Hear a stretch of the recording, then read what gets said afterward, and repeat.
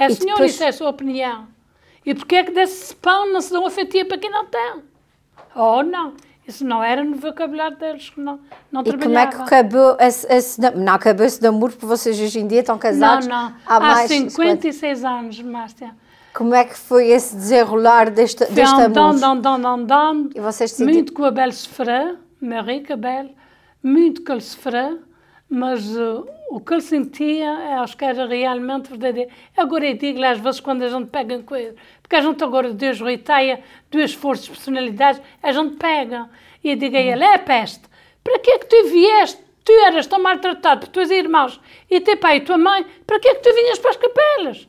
Para que é que tu vinhas atrás de mim? Porque é que não me deixaste em paz? Mas isso é agora. agora, ele ri, ele ri, ele ri, porque ele, é- ele é risonho, ele é sempre feliz e risonho, muito sério, muito amigável, muito amigo de ajudar. Mas, também, Márcia, também tem um lado também. Todos temos os nossos Todos. feitiços. Todos nós temos Eu os, os tenho o nossos... meu lado, é, é ser frontal. E se tu é certa, Márcia, podes me esfaquear, mas eu vou morrer. É derramar o meu sangue, mas eu nunca me vou calar. Eu vou sempre falar. Eu não vou falar mal daquele daquele ou daquele outro. Vou dizer a realidade da vida. Este é o programa Conta-me. E este estou a contar. E para aqueles na comunidade, principalmente Capelência e São Antônio, que pensam que a Maria José Agulha, o que tem e o que adquiri, fez os bens do sogro, também te enganados, meus ricos senhores e minhas ricas senhoras. Tive uma senhora uma vez no Santor, na fábrica que trabalhei há 25 anos. 25 anos que me disse: És muito perfeita, és muito amanhada, porque casaste com um homem rico. Ah, querida, não foi com as riquezas do meu sogro, que eu não fui de lado nenhum, Márcia. E eu tenho provas disso, e eu digo e falo das provas. E com razão, Yeah. porque foi a realidade. Foi a realidade, não foi E mentira. e a Maria José- Eu não estou. Não. Eles já não estão cá, no Senhor já lhes levei. E oxalá de onde quer que eles estejam, no Senhor não os fizesse sofrer o que eles me fizeram sofrer a mim. Porque eu sofri muito inutilmente. Eu fui muito maltratada, só por ser pobre. E não sei se não ter responsabilidades do meu pai ter 66 arquês de terra. O Mas meu esse- belo choro hoje em dia com as ofensas do que o pai lhe fez e, e as irmãos, principalmente o meu irmão que ele tão vivo aqui, que ele veio para o trabalho 12 anos, para trás e para a frente. E ela é madrinha de uma filha minha. Há fim de nove meses, eu trabalhava de dia, trabalhava de noite, e o, o Abel viu uma casa lá no North Main Street e tirei o número e chamei. Mas o Abel estava na escola da noite em Faxbor. Aprendeu inglês ainda primeiro, porque é muito inteligente o meu Abel. Inteligentíssimo. E uh, fez um negócio com a casa. Fomos para o Banco de Santana, Márcia, compramos a casa de três famílias. Era uma casa velha, verde, cheia de janelas. Mas amanhã, eu, só vi a casa o dia que eu fui fazer a escultura. Porque ele fez e eu tinha toda a confiança nele. O que ele fizesse estava feito. Comprei a casa a fim de nove meses de estar aqui.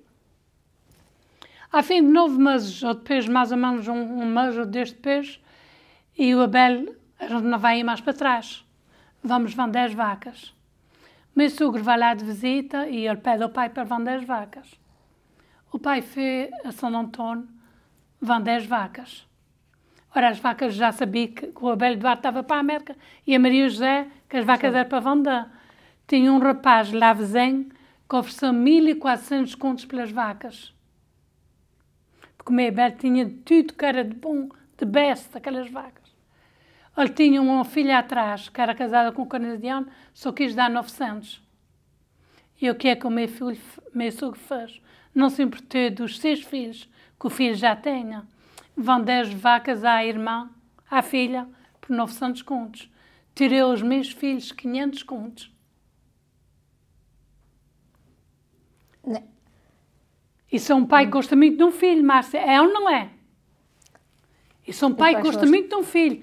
Pus-lhe gente na não- primeira página do jornal, no dia, 10, no dia 3 de outubro de 67. Sabes o que é que o filho fez? Tá. No 1 de novembro de 67, o filho sai de casa e veio para as capelas e diz: Eu não venho mais para São Antônio. O meu pai estava para a Madeira, para ir ver a minha mãe, e o meu pai, quando ele veio para trás, o meu pai queria lhe arranjar um trabalho no armazém de Domingos Dias Machado e ou no Nicolás Sousa Lema. Os deus davam trabalho ao Abel, a cartar os caminhões para os adubos e os salidos. Mas depois o meu sogro veio falar e a minha sogra e pedi para a gente ir para trás. Ele fosse morar para casa, por causa das laveiras, eu já tinha vendido algumas vacas e que ele queria que o filho fosse por casa. Porque ele não era nada assim os dois filhos que ele tem. Porque ele tinha sete raparigas e dois rapazes. Aqueles dois rapazes é era tudo. O Abel era para as vacas e o Antônio era atrás da, da aguilhada a lavrar as terras. Ora, Márcia, nove meses eu fiz para a terra, que era o Valadim, os serrados a pé de casa, a gente dá batatas. Eu fui para a pia levar sacas de luna de salitres. Apanhei uma reação e fiquei mal. Tá, era muito magrinha, era uma mosquilha, com a barriga muito empinada. Tive, acabei no hospital 21 dias. Fui cortada para a minha filha.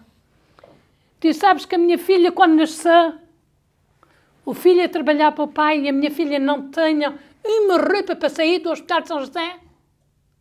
Duas enfermeiras, uma está aqui, em Fall River, que vi um dia deles um irmão minha e nunca se esqueceu de mim.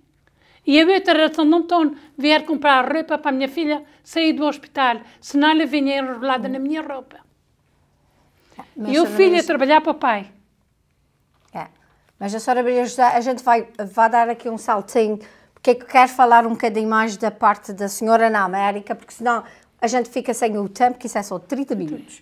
Por isso a gente vai dar um saltinho naquela parte quando eu dizia que a senhora veio aqui e trabalhou, que a senhora diz que há 25 anos na, na No fábrica, yes. e, mas para além dos, de, de estarem a trabalhar juntos durante 25 anos, a senhora também tinha uma empresa que, que é que fazer trazia limpezas. Tinha seis contratos de trabalho com advogados. O juiz John O'Neill, o filho, o John Lucer, a Anne O'Neill Souza. Eu tinha seis contratos de trabalho que ia limpar, mas as minhas filhas para lhes pagar as universidades e os livros. Fiz muito dinheiro, Márcia, porque eu tinha muito crédito e eu comprava bonds de seguro para ir limpar mais meia bela. Mas a senhora, Marica com bem. esses filhos todos, todos eles, como é que eles estão atualmente hoje na sua vida? São um orgulho para a mãe e para o pai? São um orgulho, são meus ricos filhos. When you're younger, you don't realize why your parents are so strict. But as you get older, you realize they really weren't being strict as much as they were being protective. Uh, my mom and dad came to Fall River, Massachusetts in 1976. And um, they both worked at a manufacturing company called Santoro on the Wall Street in Fall River. My mom and dad would walk to work every day, which is probably like a mile, a mile and a half from the house.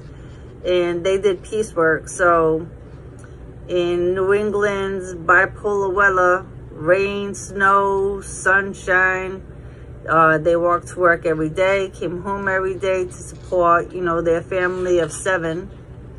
My youngest brother, Joseph, was the only one born here in America. And 1978, uh, my mom went back to work shortly after having my brother, uh, still working piecework at the manufacturing company. My dad ended up getting another full-time job working at Santoro. Now, at this time, they ended up saving a little bit of money for a vehicle. And with that came, you know, insurance for the car, putting gas in. So uh, my dad now worked two full-time jobs to support a family of eight.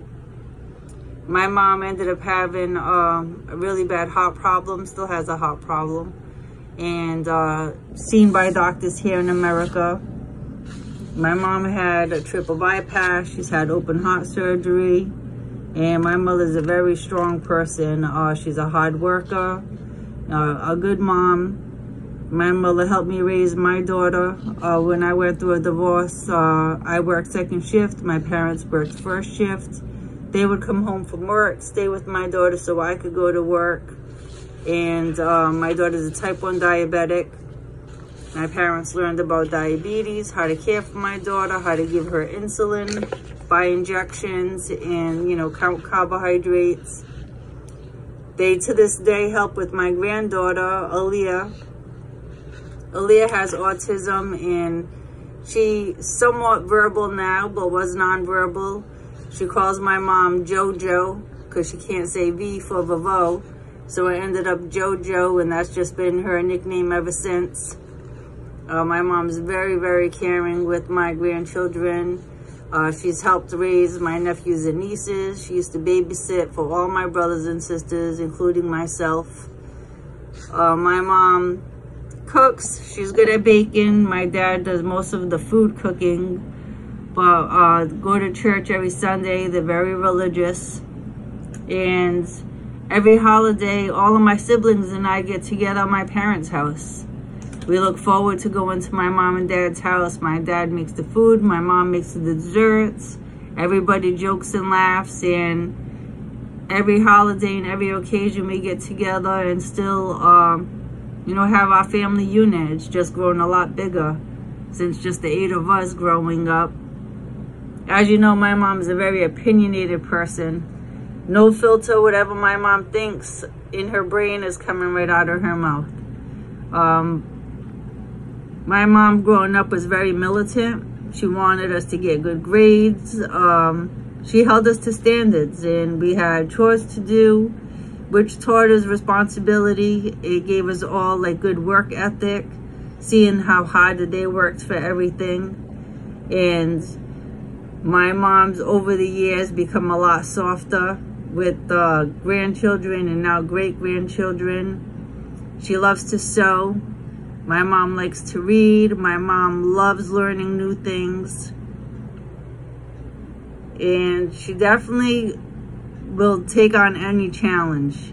At her age, you know, uh, she will try anything. She'll try new food. She'll go on adventures. And even though, like, she's had a bad heart problem, she never, like, holds that to, like, make excuses or not enjoy life. Uh, you know, they live for every day. My mom and dad always grew up with the mentality of we're all human. The outer part of us is just a shell, but inside we all have the same organs. We all eat and go to the bathroom the same way. And that God would want us to love our brothers and sisters. So we grew up with, you know, respecting our elders and saying please and thank you, being appreciative for the things we have, and knowing to work hard for what we want in life. So if I was to sum up my mom in a few words, my mom is intelligent, she's driven, she's definitely a fighter, and a loving, caring person. So I hope that this helps and to let you know that our family wouldn't be the same. We couldn't picture our lives without our mother or father, but my mom is the glue that keeps us all together. Essa parte, Sra. Maria José, e é aí que eu também queria aproveitar essa oportunidade e esse conta-me, porque a senhora sempre andou envolvida em angariações de fundos, apoiava instituições de lá e de cá, principalmente na Madeira e na Terceira. Essa sua atividade de querer ajudar e de apoiar os orfanatos e as crianças vem dessa sua experiência e daquilo que a senhora que a Viver, sua, yes. de, que a E também de ter de infelicidade, de ter tido uma mãe doente e de ter que ter irmãos internados. Os meus irmãos precisaram de ajuda, de amor e carinho. E isto sempre me doía na consciência. E de onde quer que eu recebia um pedido, com um pedido de ajuda, que eu ia pessoalmente ver com os meus olhos, eu fazia tudo para me ajudar. E ajudei, a Márcia ajudei. Ajudei na terceira, 11 meninos. Fiz-lhe um sonho realidade, a levá-los a passear da Ilha Terceira à Ilha de São Miguel por cinco dias. Quem é, quem é uma capelança, quem é uma portuguesa que se importa com os filhos do próximo? Fui para a Madeira, de onde aqueles pobres, 36 crianças com câncer, com tantas necessidades, por causa, uh, Márcia, há muita coisa que a nossa comunidade não sabe e não dá valor. Há pessoas que vão de Lyutain, dessas, dessas partes da Rússia, que vão ilegais para aí e vão, tão crianças e boto para lá, naquelas portas dos orfanatos. É muito triste. É muito triste. E a gente sabe que é preciso. Aquele ditor João Carlos Abré é filho de visita da minha mãe a Cova e fez essa peça de teatro, os cardeais.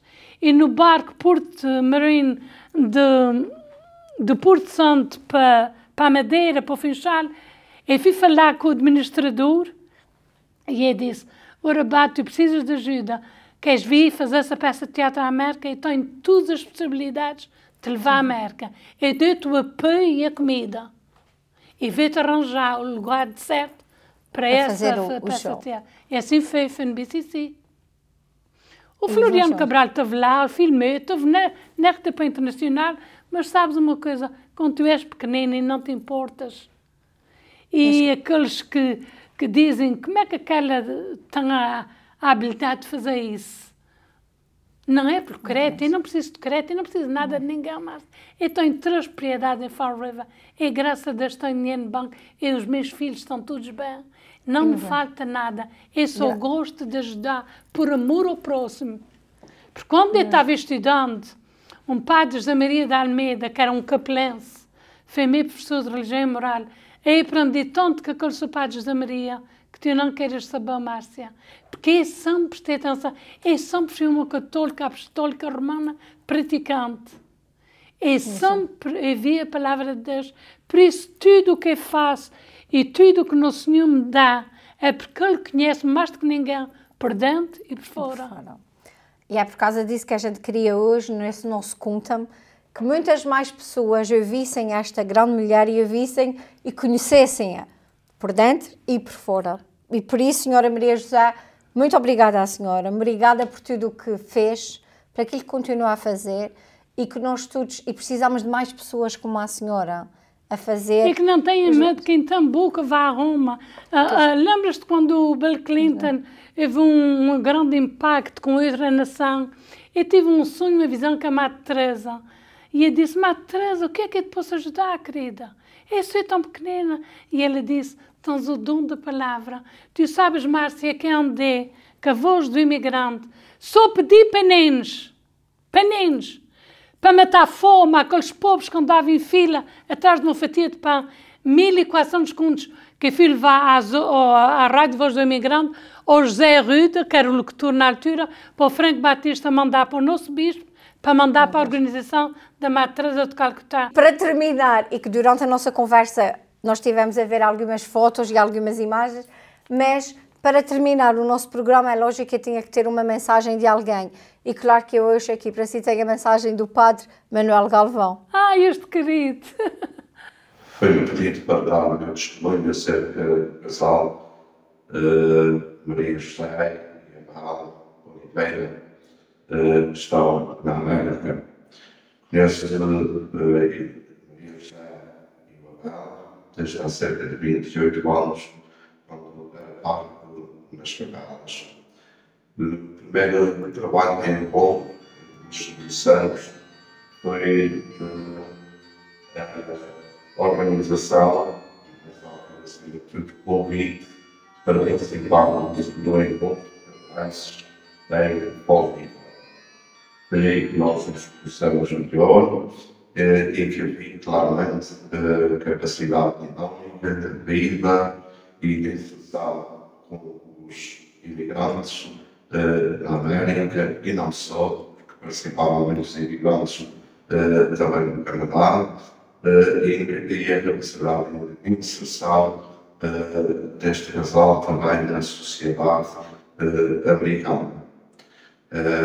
para além disso, depois convidá-los a ter outros encontros, sempre fomos conversando.